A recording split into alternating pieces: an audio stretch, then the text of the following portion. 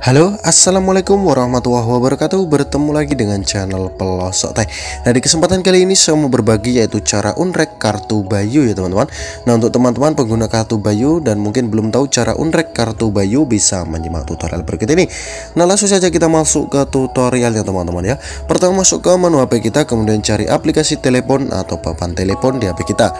Kemudian kalian ketikkan saja yaitu bintang 444 pagar. Nah, nanti kalian lakukan saja panggilan. Nah, kemudian di situ nanti akan muncul menu unrek.